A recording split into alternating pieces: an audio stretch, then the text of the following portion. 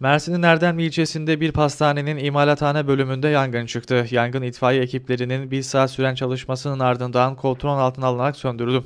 Edinilen bilgiye göre Merkez Mahallesi Adnan Menderes Caddesi üzerinde faaliyet gösteren bir pastaneye ait imalathanenin paketleme malzemelerinin bulunduğu kısmında henüz bilinmeyen bir nedenle yangın çıktı.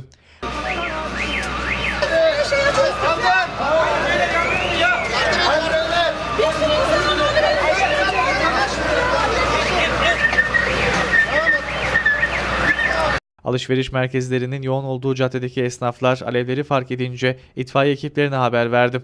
Olay yerine gelen polis ekipleri çevrede güvenlik önlemi alarak vatandaşları yangın bölgesinden uzaklaştırdı. Bu esnada sokaktaki bazı araçlar vatandaşlar tarafından sürüklenerek caddeden uzaklaştırıldı.